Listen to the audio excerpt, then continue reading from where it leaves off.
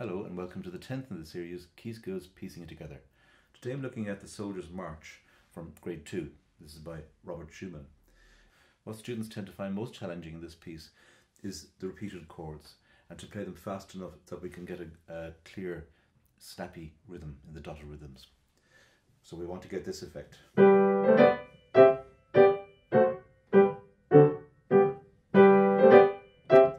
I find the best way to achieve this is to use the pedal. The pedal goes down with the first chord and off with the third chord, and the th third chord is staccato. Crucially, don't attempt to join any of the notes together in the chords. If I play this without the pedal, it should sound like this. So the first chord is long, but not long in, in being held, only long in time. And then the next two chords are, are bunched together in what I call a double bounce. So we're going to bounce twice with the wrist. So you put it, play a long chord and then double bounce. And put the pedal down with the first chord and then double bounce.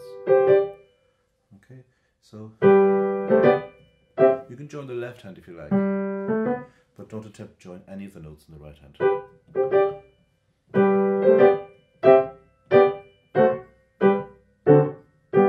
And for each of these chords, I think it's, you get a much livelier, more musical sound if you're touching and springing away.